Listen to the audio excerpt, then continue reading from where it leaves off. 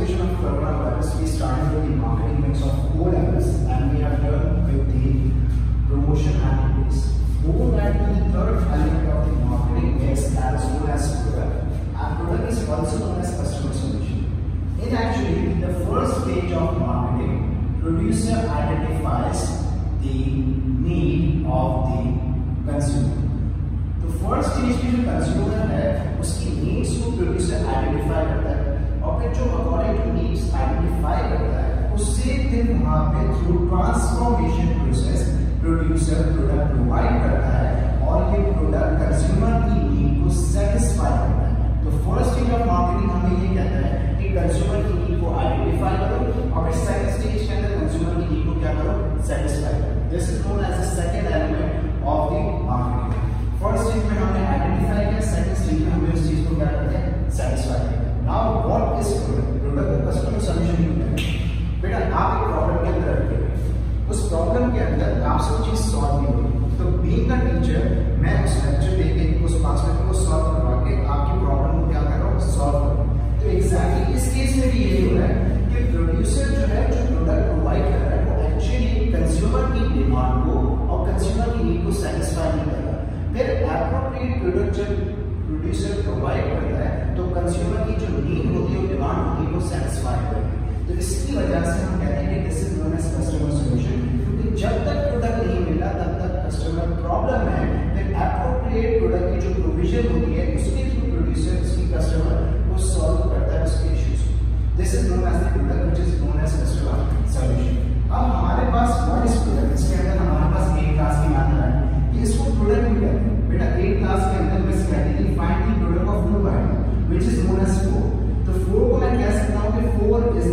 the final answer from the producer to the क्यों 2 multiply by 2 is to 4 तो ये 2 bye 2 क्या है? बेटा, ये 2 बाय 2 प्रोडक्शन प्रोसेस है। इस प्रोडक्शन प्रोसेस में क्या हो रहा है? इस प्रोडक्शन प्रोसेस में प्रोड्यूसर जो है, वो रॉ मटेरियल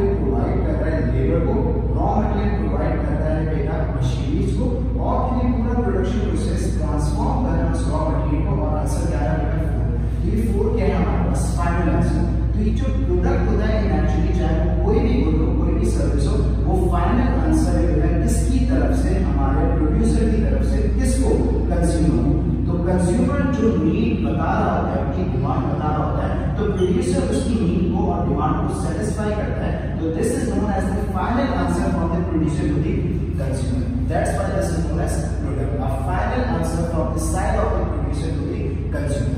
अब सेकंड चीज़ हमारे मोस्ट इंपॉर्टेंट चीज़, कि प्रोडक्ट कितने टाइप्स के होते हैं प्रोडक्ट होते हैं बेटा वर्ड हमारे पास जो प्रोडक्ट है it can be anything it can be a good और it can be a service अब यहाँ पे देख रहे थे गुड का मतलब क्या है? हमारे पास टेंजिबल गुड्स टेंजिबल गुड्स का मतलब हमारे पास वो सारे गुड्स जो कि फिजिकली अवेलेबल है.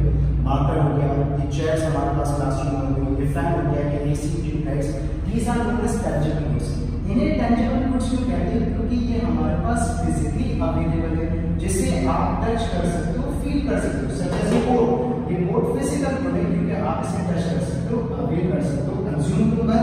रहे हो लेकिन साथ साथ इसे टच और फील कर सकते तो हमारे पास टेंजिबल गुड्स के अंदर मोबाइल फ़ोन एग्जांपल आ गई। हमारे पास चेयर्स एग्जांपल है फर्नीचर एग्जांपल है। सर्विस क्या है हमारे पास? सर्विस हमारे पास बेटा इनटैंजिबल गुड और इनटैंजिबल गुड का मतलब होता है कि ये वो सारे गुड्स होते हैं जिसे हम कंज्यूम कर लेते हैं अवेल कर लेते हैं but they are physically unavailable जैसे कि बैंकिंग इंश्योरेंस लॉयर की सर्विस ऑडिट की सर्विस, अकाउंटेंसी सर्विस डॉक्टर की सर्विस, ये सारे वो गुड्स हैं जो कि इनटैंजिबल गुड्स हैं और ये फिजिकली अनअवेलेबल है। हम इसके अंदर एग्जांपल लेते हैं इंश्योरेंस की।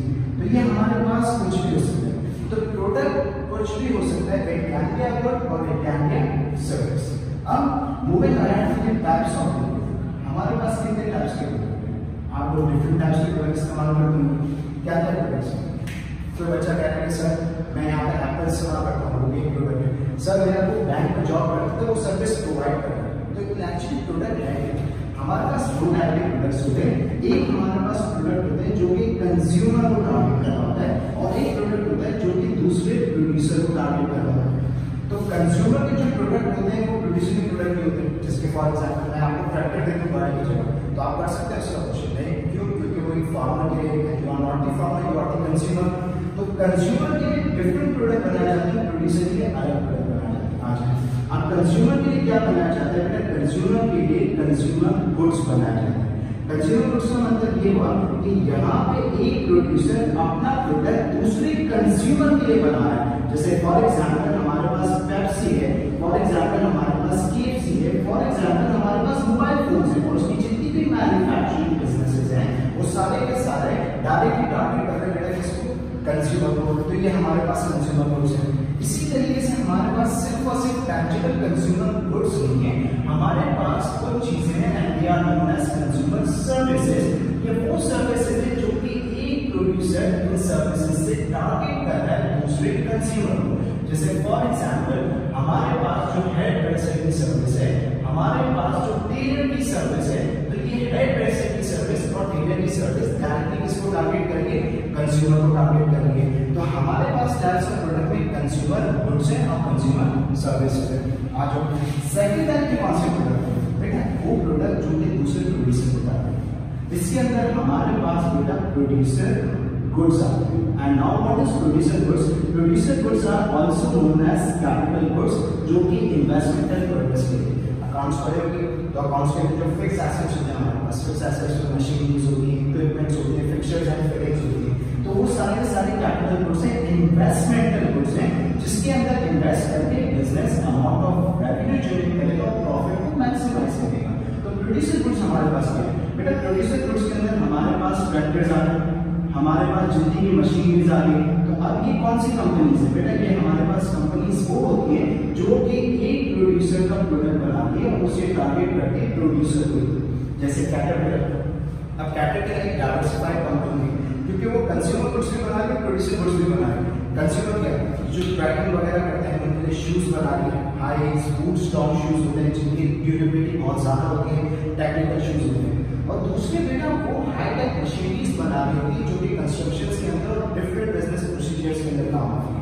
तो अब वो मशीनरीज प्रोड्यूसर दूसरे प्रोड्यूसर्स के लिए बना रहा है। एक ट्रैक्टर मैन्युफैक्चरिंग करती है वो ट्रैक्टर क्या करेगा वो ट्रैक्टर एक दूसरे फार्मर के लिए बना और वो एक जो मैन्युफैक्चरिंग कंपनी है, वो एक प्रोड्यूसर है और फार्मर एक दूसरा प्रोड्यूसर है जो कि एग्रीकल्चर एक्टिविटी या फिर फ़ार्मिंग एक्टिविटी में इन्वॉल्व होगा और फ़ार्मिंग करेगा। तो इसका मतलब ये है एक प्रोड्यूसर को दूसरे प्रोड्यूसर को टारगेट करना है। और जब ऐसा प्रोडक्ट जो एक प्रोड्यूसर दूसरे प्रोड्यूसर को टारगेट कर रहा हो आर नोन एज प्रोड्यूसर को है? प्रोड्यूसर कैपिटल दूसरा इसी तरीके से हमारे पास एक और होती है services and they are known as producer services same as producer कि एक प्रोड्यूसर यहाँ पे अपनी सर्विस को टारगेट कर रहा है दूसरे प्रोड्यूसर के जैसे हमारे पास भाई मेरा कज़न है प्रोड्यूसर का काम कर रहा है ऑडिट फॉर्म मैंने बोला मैं। किसको टारगेट करूँ तो कहता है, हमारे पास जितनी कॉर्पोरेट कंपनीज़ होती है, उनका ऑडिट करते हैं। तो जो कॉर्पोरेट कंपनीज़ ऑडिट कर रही होगी और इसी तरीके से हमारे पास अकाउंटेंसी फॉर्म्स हो गई बिज़नेस कंसल्टेंसी फॉर्म हो गई टैक्सेस की कंसल्टेंसी फॉर्म हो गई तो वहाँ पे एक बिज़नेस दूसरे बिज़नेस को टारगेट कर रहा है through the provision of service तो ऑडिट की सर्विस अकाउंटेंसी की सर्विस भाई तो इस्तेमाल नहीं करता। मैं भी इस्तेमाल नहीं करता। तो कौन इस्तेमाल कर रहे हैं अबू कर रहे हैं चर्चा कर रहे हैं बड़े लोग जो कंपनीज़ हैं जो ऑडिट करवा रहे हैं अकाउंटेंसी करवा रहे हैं तो यहाँ पे एक प्रोड्यूसर जब दूसरे प्रोड्यूसर को अपनी सर्विस से टारगेट कर रहा है तो these are known as producer services तो इन एक्चुअली जो प्रोडक्ट है, वो दो कंडीशन है कंज्यूमर और प्रोड्यूसर कंज्यूमर के लिए consumer goods and consumer services है। प्रोड्यूसर के लिए प्रोड्यूसर गुड्स और प्रोड्यूसर सर्विसेज़ अब ये रेगुलर मार्केट में मिलेगी कंज्यूमर मार्केट में डिफरेंट होती है और हमारे पास प्रोड्यूसर मार्केट इंडस्ट्रियल मार्केट में डिफरेंट होती है। जैसे कि फॉर एग्जांपल भाई कारे वो कंज्यूमर मार्केट है लेकिन बीस साइड एरिया शेयर से हमारे पास कौन सी मार्केट है? प्रोड्यूसर इंडस्ट्रियल मार्केट वहाँ पर बहुत सारे गुड्स मिलते हैं जो कि प्रोड्यूसर को ही टारगेट करते हैं तो ये टाइप्स ऑफ़ प्रोडक्ट की रेलेवेंस अपनी रिस्पेक्टिव मार्केट से वो हम बाद में डिस्कस करेंगे हम यहाँ पे डिस्कस कर रहे हैं इसको प्रोडक्ट अब यहाँ पे प्रोडक्ट के एक और important associated value that is known as packaging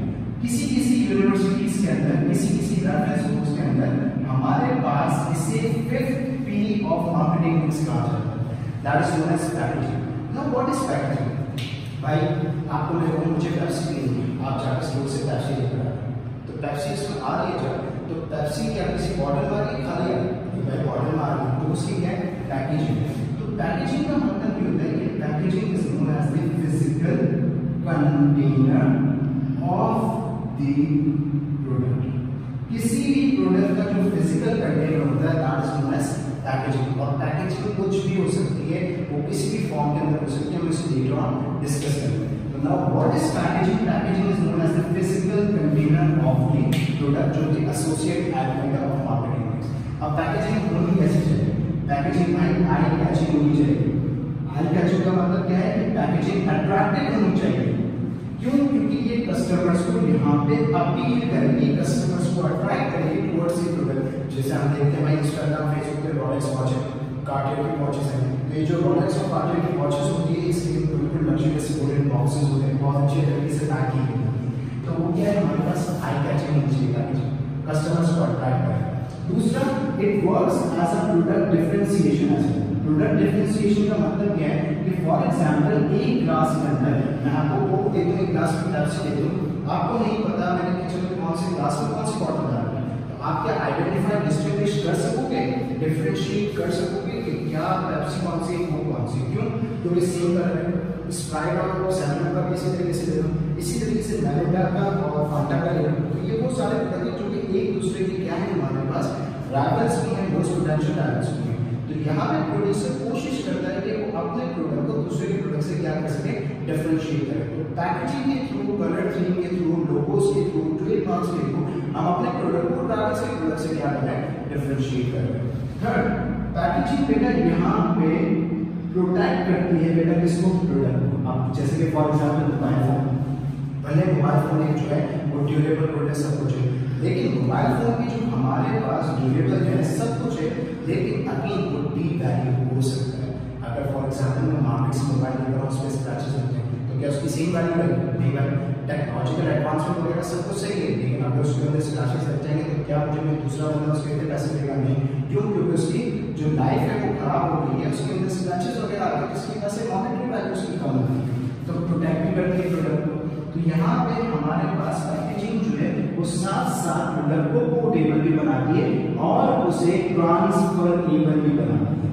अब ट्रांसफरेबल और पोर्टेबल का मतलब क्या है? कि अगर फैक्ट्री से तरफ़ से निकल रही है तो यहाँ पे आता है तो बेटा क्या हो जाएगी खराब हो जाएगी अगर ऐसे कोई पैकेजिंग उसके अंदर गैस डाली इसी तरीके से लेस के अंदर लोग कहते हैं, दस रुपए की लेस और दस रुपए की हवा बनी बेटा, हवा नहीं उसकी पैकेजिंग के अंदर नाइट्रोजन गैस डालेंगे ताकि उसकी जो फ्रेशनेस है वो प्रिजर्व हो सके। तो ये सब किसको है बेटा? पोर्टेबल पैकेजिंग ट्रांसफ़र होगा अच्छा एक इंपॉर्टेंट चीज़ कंज्यूमर देखने को है। ये हमारे पास गोल ऑफ़ पैकेजिंग है और पैकेजिंग कैसी होनी चाहिए। अब हमारे पास कभी कभार जो पैकेजिंग जो है वो यहाँ पे इंफॉर्मेटिव एडवर्टाइजमेंट का भी काम करती क्योंकि ये यहाँ पे कंप्लीट इंफॉर्मेशन प्रोवाइड कर देती है कंज्यूमर को। जैसे कि आप किसी भी प्रोडक्ट को उठा के देखो, या फॉर एग्ज़ाम्पल आप जो है वो सिरप उठा के देख मेडिकल सिरप तो उसके ऊपर उसके लोगो लिखा होगा, सब कुछ होगा।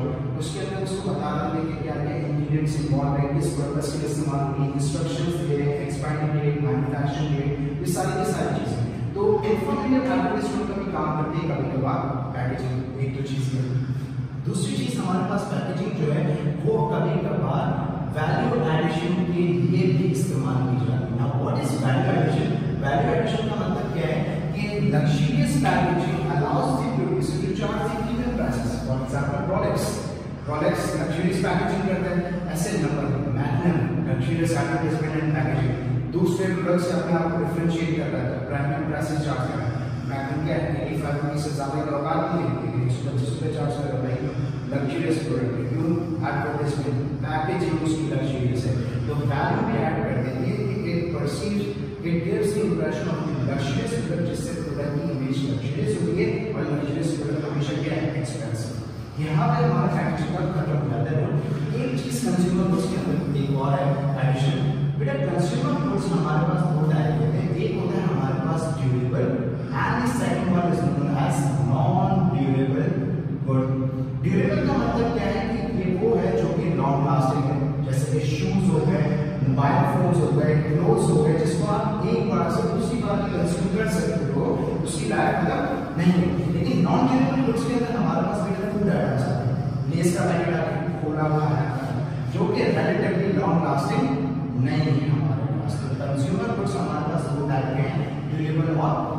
algorithm.